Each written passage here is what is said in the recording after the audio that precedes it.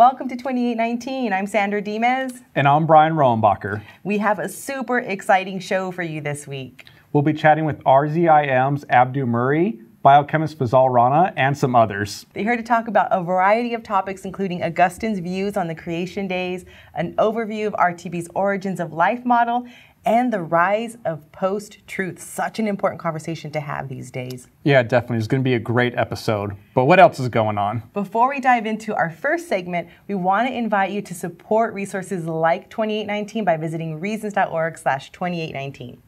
We also want to let you know about an awesome conference coming up next year. You have the opportunity to hang out and build relationships with the RTB staff and some of the scholars. Yeah, and the best part, it'll be in Hawaii. We'll be doing this while sailing through the Hawaiian Islands. So there will be something exciting for you to discover at every port of call. Yeah, definitely. And you're going to hear brand new content from Hugh Ross, Fazale Rana, and Ken Samples. So we're really hoping you'll look into it and join us. It's June 27th through July 4th, 2020. If you'd like more information, visit inspirationcruises.com slash RBH. All right, now let's hear from astrophysicist Jeff Zweerink on his new book, Escaping the Beginning. Let's check it out. Welcome to Culture Talk, where we discuss culturally relevant topics you can use to start conversations about your faith.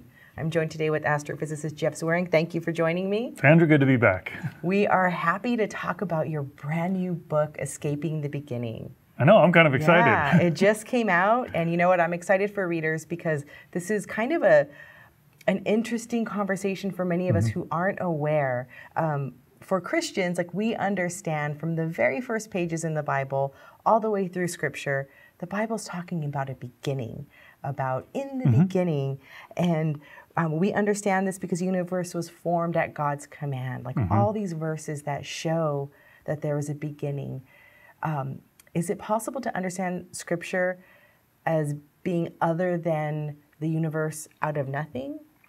Well, you know, it's a, it's an interesting question because I did kind of wrestle with the idea of okay, does there need to be a beginning? You know, mm-hmm. after all, time is created, so right. why does there have to be a t equals zero? But as I've talked with my colleagues, uh, theologian friends especially, I do really come back to the idea that there there does seem to be this necessary thing that creation is contingent upon God. Mm-hmm. That uh, that's incredibly important. But even in that, there does seem to be this need for a beginning. So mm-hmm. if you're going to get rid of a beginning, that's going to be very problematic to maintain historic Christian doctrine in doing that. Right. And you, you said t equals zero. Is that time equals zero? Yeah, it would be time equals zero or okay. a beginning. You know, scientific specifically, yeah. what does a beginning mean is a little bit of a hard thing to evaluate. Right. So, from a Christian perspective, we understand that creation had a beginning. Mm-hmm. We say creation ex nihilo, that it started from nothing and mm-hmm. it was through God's hand. Um, but now we're hearing that scientists are exploring the possibility that there wasn't a beginning. You know, many of us think that that case has been settled, that there is an origin. Mm-hmm. What is prompting scientists to even delve into that examining that the universe might not have a beginning.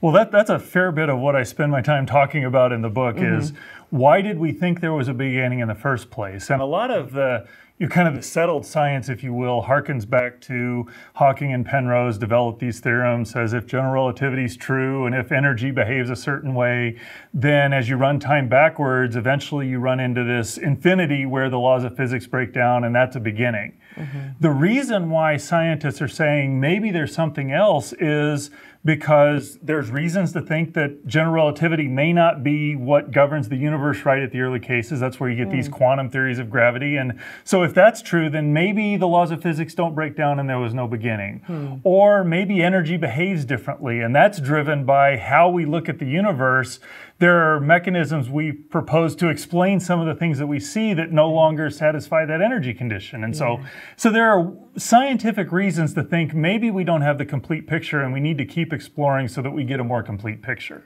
So some might say then if scientists are going back and saying, you know, maybe this this isn't the case and maybe things don't break down, um, that might lead some people to feel like science can't be trusted because they're going back and kind of changing uh, what we thought was the case and what we thought was there was evidence for. You know, and there's people who will say that. It's mm-hmm. like, you mm-hmm. know, science is always changing. How can we trust it?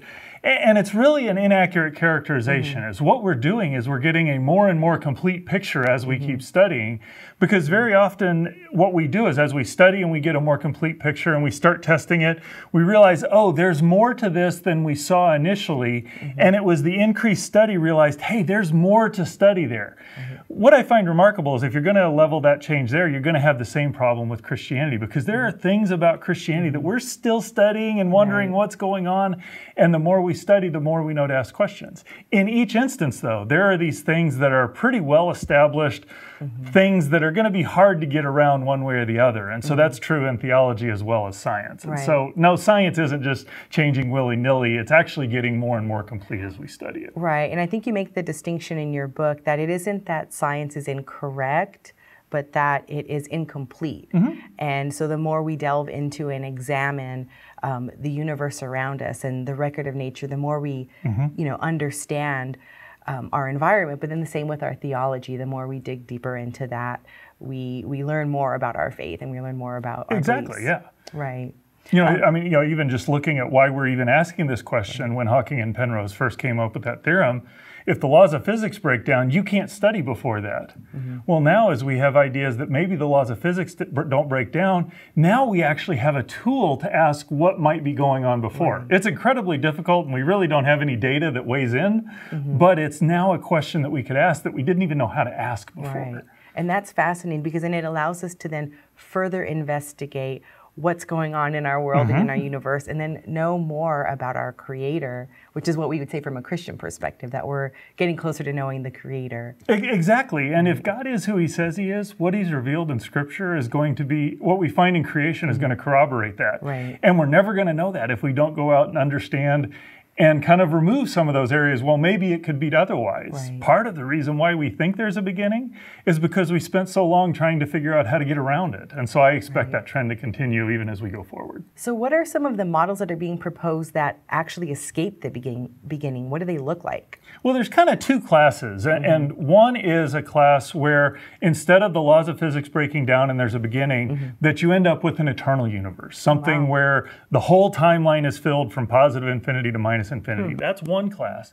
But there's another class where there's actually a beginning, but that beginning just kind of fluctuates into existence. So there's no cause to it. So those are kind of the two general classes where we're exploring can you really escape a beginning? Right. That's fascinating. But let's say we do find out that there is a beginning. What does that mean? I think if you end up with a beginning, mm-hmm. at the very least, that harmonizes what, what Christianity right. and the Bible has said all along. I think that's a powerful statement. Um, and if you do have a beginning, now you have to ask the question what's actually the best explanation mm-hmm. for that? I think there are people who would say, no, it isn't God. But when, as I've looked at it and wrestled with it, to me, the best explanation for a beginning is there's a God who started it all. Right. And I think that'd be a, a great opening a conversation with someone if they're also wrestling with mm-hmm. is there a beginning? Investigate what does that mean?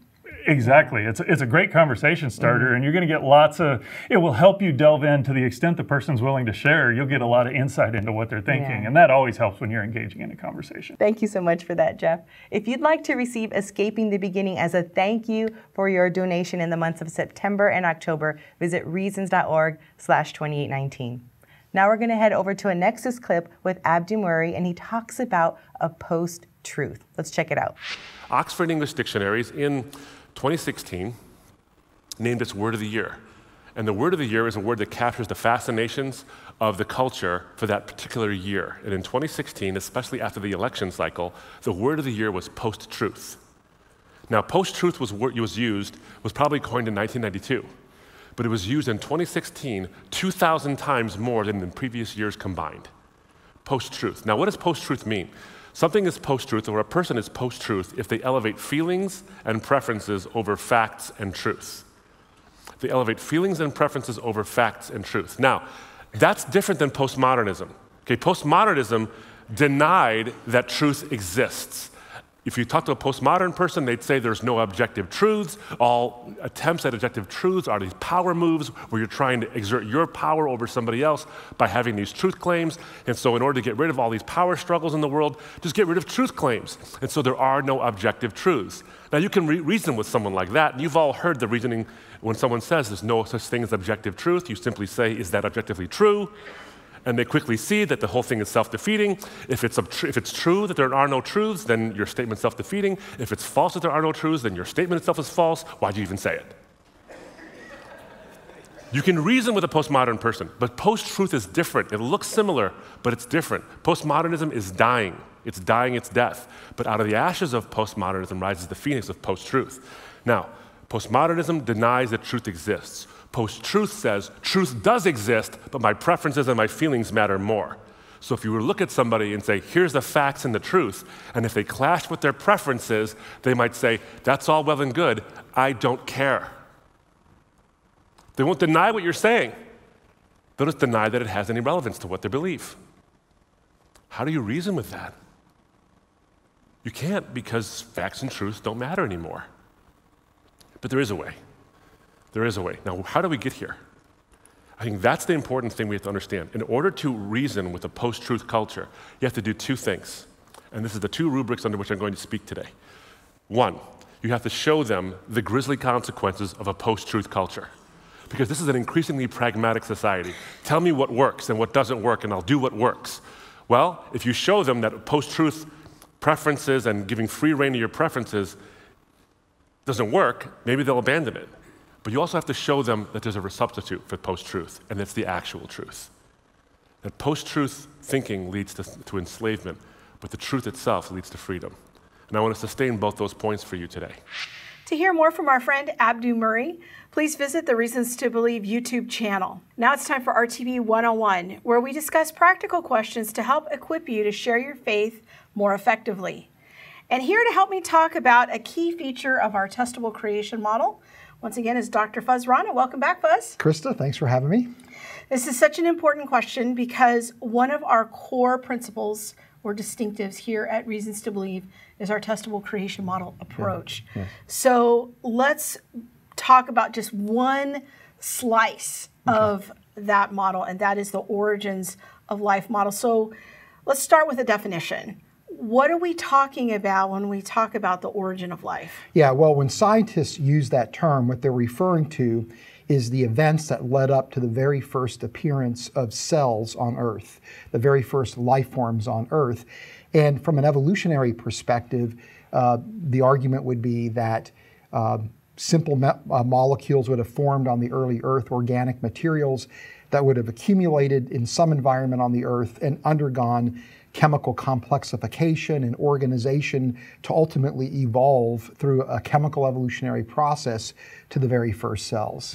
Okay, so we're talking about cellular, single celled organisms. Right. Life. We're not talking about whales or dinosaurs. We're right. talking about the first life forms on the early Earth. That's exactly right. Okay, and those came about, some of the distinctive features of the evolutionary models, it came about through natural processes, right. chemical evolution, right. the just the right conditions on the surface right. of the earth right. so that this life could come about. That's right. And so if this explanation is valid, then one way to test it would be to ask, uh, are there chemical processes that could, in principle, contribute to chemical evolution? And would those chemical processes operate under the conditions of the early Earth? Also, evolutionary models would anticipate that the very first life forms on Earth would be extremely simple organisms and would have probably appeared over a protracted period of time hundreds of millions of years, maybe even up to a billion years. So we would expect to see simpler life forms 1st mm-hmm. that then evolve into more and more complex life forms. Right. And we would expect to see some sort of process that they were kind of pre-life and then mm-hmm. life and yes, some exactly. kind of stepwise fashion there. Exactly. Okay. Now when we think about the the model from a creation model standpoint right. that we put forth here at Reasons to Believe. How, what are some of the few of the features of our approach? Yeah, sure. Well, the, the primary view that we hold is that the origin of life and the fundamental design of life is ultimately the Creator's handiwork, where God is intervening in a direct way to create the very first cells on Earth. So it's a rejection of this idea of chemical evolution. Also, we think that Genesis 1 2 is the portion of the Genesis 1 creation account that is making an allusion to something akin to the origin of life or to the very first appearance of life on earth.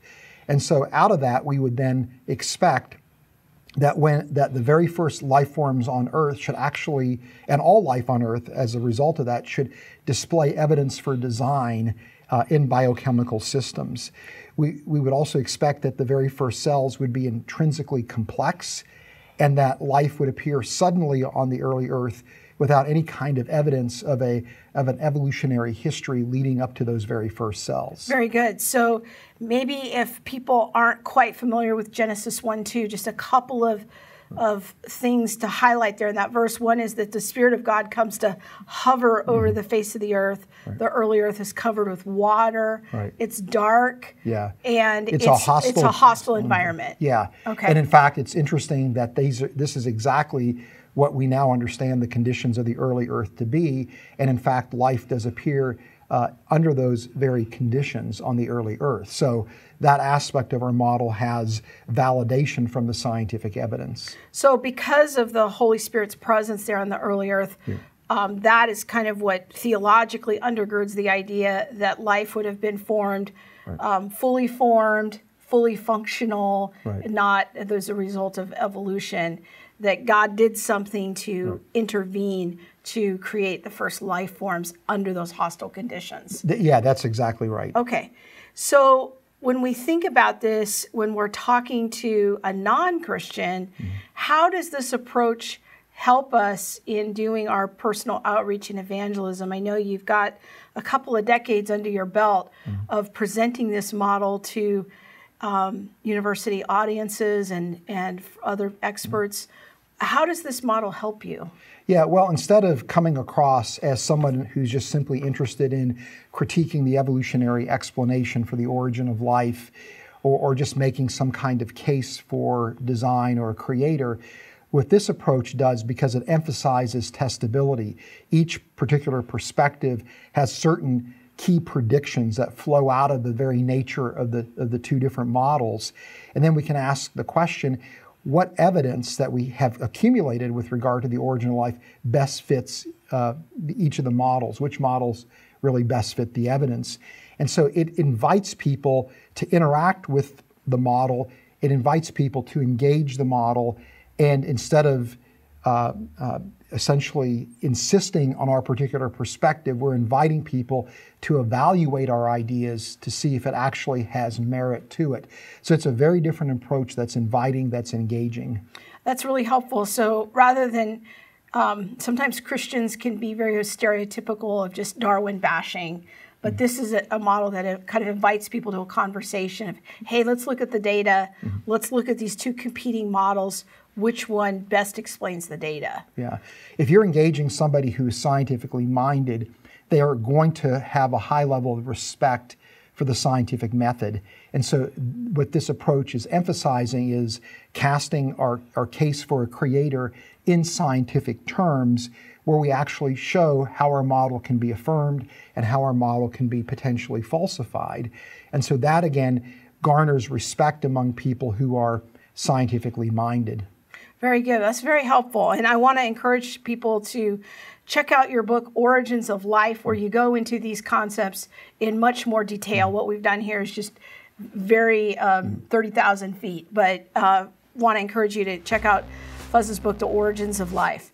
Now let's go over to Jeff Zweerink and our give and take. Let's check it out. Hello, Jeff Zweerink here, and welcome to Give and Take. This is the segment of our show where we explore important scientific ideas to help equip you to be more confident in the truth of Christianity so that you can go share it with others. Today I'm excited because I'm joined by a friend and a, and a colleague, Dr. Gavin Ortlund, and we're going to be discussing what were Augustine's views on the length of the creation days. Gavin, it's good to have you here. Thanks. Good to be here. So I know you've got a, uh, PhD in historical theology, so I think this is a great topic to discuss. And I know you're a pastor of First Baptist Church in uh, Ojai, correct? That's right. Yep, you got uh, it. So I imagine you've had to have dealt with uh, the length of creation days, and that topic's come up. It's often framed, though, as though, well, science has come along and said these are older, so we need to go back and reevaluate the, the length of the creation days. Is right. this really a new thing, or has this been around for a while? Yeah, that's where Augustine has been so helpful to me because sometimes people have the idea that everyone saw the uh, interpretation of Genesis 1 and how long are these days the same way. And then in the late 18th century, early 19th century, people start discovering evidence of age Right. in the earth and they think, okay, now we need to change our interpretation of Genesis 1. And Augustine's helpful because he had a view of Genesis 1 um, that was very different from what is sometimes assumed as kind of the default view. Okay. And his view was incredibly influential. Um, and so I think going back to the church fathers like Augustine, he lived late fourth century, early fifth century, may, perhaps maybe the most influential Christian theologian in the whole history of the church. So, so this isn't just some theologian we've picked out somewhere in the past. This is Right, yeah. one of the big theologians, if you will. Yeah, if you're wanting to kind of go mainstream, it's hard to go wrong with Augustine. Okay. Uh, he's not some fringe figure, Right. you no. know. I, and I think that's important to, to specifically articulate that. Yeah. So, so what was Augustine's view on the length of the creation days, or what these creation days were? Okay, so um, he doesn't think that they're 24 hour periods of time. Okay. He thinks that these days are different from ordinary solar days. All right. Ultimately, his problem was the opposite as uh, many people today. He thought the creation week was too long, Okay. not too short. because He thought the whole uh, creation week needed to happen in an instant. And so he believed in instantaneous creation. Okay. And there are lots of different Is reasons. that, is that something on the order, or something because you know, for God to take time is weakening His power, or is it something? There is a than that? little bit of that. Yeah, There he is, okay. thinks it's a greater display of divine omnipotence for it to happen immediately. Okay.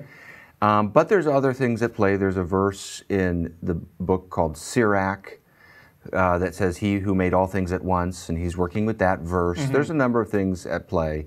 And I wouldn't want to commend everything Augustine said on this, but I find Right. it interesting that um, he, you know, he because he's pretty emphatic about this point that these aren't ordinary days and they can't be. And he had a number of reasons why he felt Mm-hmm. that way. He so basically he sees the whole week as a kind of framework or accommodation, kind of portraying God's creation work in terms of a Hebrew work week. Okay. And there are a number of things in the text that that led him that way. It wasn't just an external pressure from philosophy or something like that. Certainly not from science, because this is before Right. modern science comes along. So, so is he looking at this allegorically, or I mean, why? Where does he get this in, in interpreting the text? Okay. Well, so he, he writes five different commentaries on Genesis Mm-hmm. throughout his life, and then he addresses it in other books as well. So Okay. he, he was kind of obsessed with Genesis. lot about it. yeah, very interested in it. And he started off with an allegorical interpretation of Genesis. Okay. And then he eventually moves to a literal interpretation of Genesis. But what's interesting is what he means by literal is basically it has historical reference. It's Okay. something that happened in history. He doesn't mean literal in terms of the literary genre in which those historical events are communicated. So he doesn't mean that it has no figurative mm-hmm. speech or analogical language. So that's what he means by literal. So it's, it's more like a literary. It's like how do we interpret this to figure out what's going on? It's not that a poem. Well, I can't think of a good a good illustration, but there, there's obviously historical content, but it's not a historical summary of the. It's not just a, a literalistic Not just a rendering. literalistic of rendering, okay. here's exactly how you could picture it happening moment by moment. There's Gotcha, a level okay. of artistry in the historical narration, Okay. and there's things in the text that cause him to go that way. It wasn't just he didn't just have this idea one day. He's wrestling with Mm-hmm. things and agonizing with little details in Genesis 1, which is why I think it's helpful for us to consider. Right. Because some people act as though the interpretation of Genesis 1 is just a matter of obviousness. Right, right. It's just, it's so clear what it's saying. And to see Augustine agonizing, you know, this great theologian kind of anxious and, and filled with angst about how to interpret this passage is kind of refreshing. It kind of gives us some breathing room. No. I, I think that's important. So, so, so he did have a literal de- or literal interpretation. Or that's kind of where he ended up, um, which is a little different than literalistic, if you will. So, what what was it in the text that led him to see these as not 24-hour days? Okay, um, there were three main things. There's a couple other minor things. The three main things, if I can try to remember them all off the top of my head here, Mm-hmm. um, the light before luminaries issue. Okay. So God creates light on day one, but you don't have the luminaries like the sun and stars until day four. Right. And so Augustine is wrestling with where's this light coming from? Gotcha, okay. And and and why do we call it a 24-hour uh, day when that what makes it 24 hours is the amount of time for the earth to rotate around the sun there is no sun yet so he's thinking is the earth just suspended there and light is kind of flashing on and off Gotcha. you know where's that coming from and then secondly um, the different usages of the term day throughout the passage, especially when you get to Genesis 2 4 to 6. And the whole creation work week is summed up by in the day the Lord made the heavens and the earth. Mm-hmm. And then it references when no shrub had yet appeared. Right. And he's saying, wait a second, we already had the plants created. Why is it saying no shrub has yet appeared? And he's thinking that this, and that really bothered him. He goes on page after page in his mm-hmm. literal commentary. You know, you can just picture him at his desk pulling his hair out. You know, how is there no shrub that's yet appeared? We just Right. had the plants created. And then thirdly, God resting on the seventh day. He says clearly, God doesn't get tired. You know, later in Exodus, when it says God refreshed himself, Right. uh, God rested and refreshed himself on the seventh day. He's saying clearly this is analogical language. There's Mm-hmm. some kind of comparison being drawn to God's creative work and human activity. Right. And so that kind of opens the door to looking at other things in the passage in an analogical way for him. So those were th- the three main reasons why he doesn't think it, this is just sort of ordinary solar days. Well, thanks, Gavin. I appreciate your comments. Mm. You know, often as Christians, and myself included, wrestle with how long are the creation days? And it's often portrayed as you're either accepting science or you're accepting the Bible. To me, it is very refreshing to hear that this great theologian, Augustine, was wrestling with this long before science even weighed in on the topic. And to see that uh, there is some ambiguity and some difficulty wrestling with this. Uh, what I find encouraging is that it gives me the opportunity to look and say, you know what? I can take scripture and creation very seriously and know that they actually work together. You know, and I would encourage you to go check out gavinortlund.com and look for Gavin's article, Did Augustine Read Genesis 1 Literally? This will give you some more insight and help you be equipped to share this kind of controversial topic in a way where you can spread the gospel. That does it for us this week. We hope you enjoyed this episode and that it encourages you to share your faith with compassion and confidence. And don't forget subscribe to our show and search for us on Facebook, Twitter, and Instagram at 2819 Show. And remember, if you want the podcast version of 2819, you can get that on Apple Podcasts, Google Play Music, and Spotify. Just search Reason to Believe Podcast. See you next week.